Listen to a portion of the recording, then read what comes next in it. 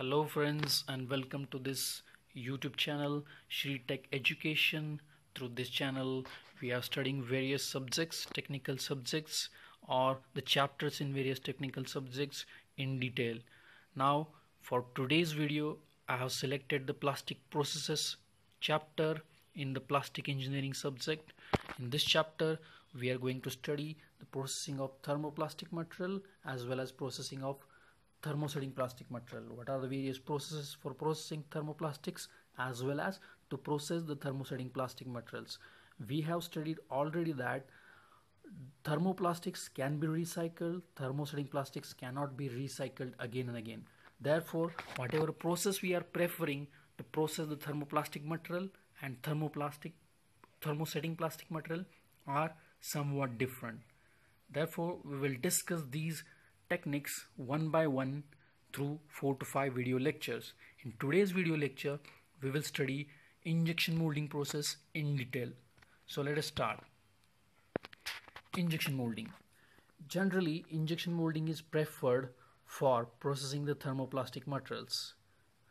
Thermoplastic materials are heated and then pressurized in the mold so that they can be formed into different shapes. Isn't it? In injection molding process. Below one animation is shown of this injection molding process.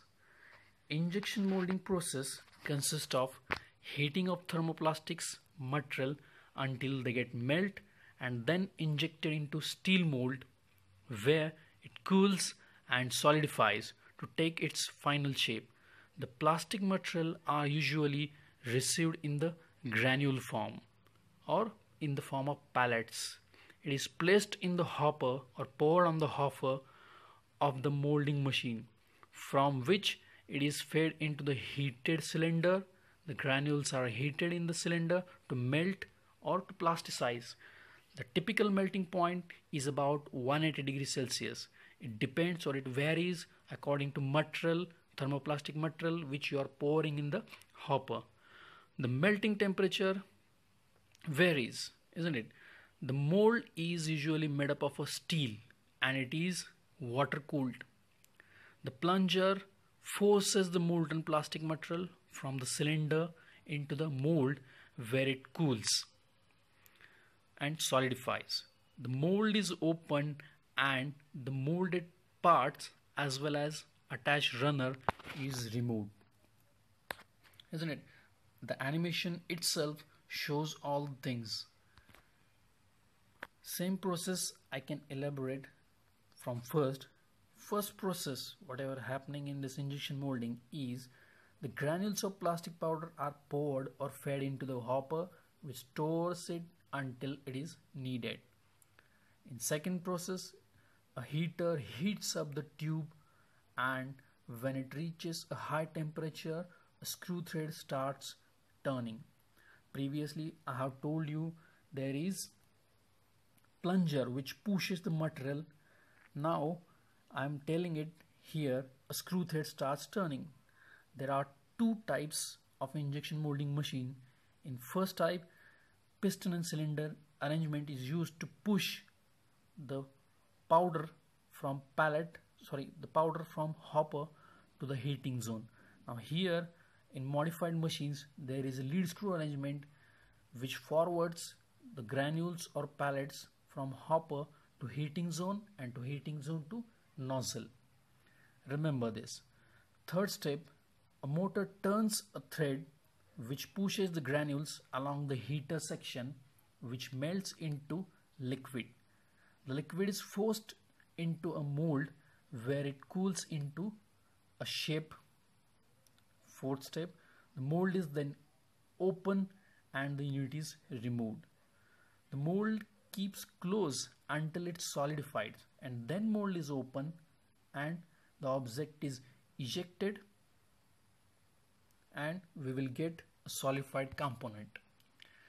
Same thing, I have shown one plunger in the bottom below diagram and in upward diagram there is a lead screw arrangement, isn't it? Next in this next diagram actual equipment or actual injection molding machine is shown.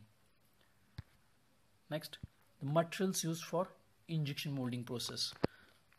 Already i have told you that injection molding process is used to process the thermoplastic materials. Examples of thermoplastics are polyamide polypropylene polyethylene polystyrene acrylbutylene styrene nitrite sorry acry, acrylonitrile butyrylstyrene that means ABS polyvinyl chloride or PVC these are the materials which are used to process through injection molding process. Applications. The picture shows all the applications whatever in day-to-day -day life n number of applications are made up of injection molding process. I have listed some of them. In case of bottle caps automotive dashboards packaging packet combs pocket combs some musical instruments one-piece chairs and small tables storage containers mechanical parts including gears baskets, trays, soap cases, buckets, all are the applications of injection molding process or these are the materials which are prepared by injection molding process. Next we will see advantages of injection molding process. First advantage is the cycle time in this injection molding process is very less. That's why this process is very fast production process generally the time required for this process is I will say step by step time required is for pouring the raw plastic material from hopper again to heat that raw plastic material some time is required. Then some time is required for clamping these two mold cavities. Some time is required for injecting this raw material uh, sorry molten plastic material. And some time is required for cooling this injected plastic in the mold. And then it is ejected. So this total time of the process called as cycle time is very less as compared to other process that's why it is a fast production process second advantage is the material and color flexibility you can use any kind of thermoplastic material to process through this injection molding and you can give any color by adding some additives like colorant in that raw plastic material. Third, low labor cost. Yes. Fourth, design flexibility. Yes, you can make any complex geometry components by using this injection molding process because you have freedom to design the mold cavities. According to that, you will get the output, final output product. Next, high precision complex parts. Yes, I have previously said you can prepare any complex geometries with high precision because you can give the less tolerances over the component okay, because it is a precision manufacturing last one is the low waste. The waste produce will be in the form of gates runners isn't it? These will be the waste materials but it is in a low quantity. Disadvantages of injection molding.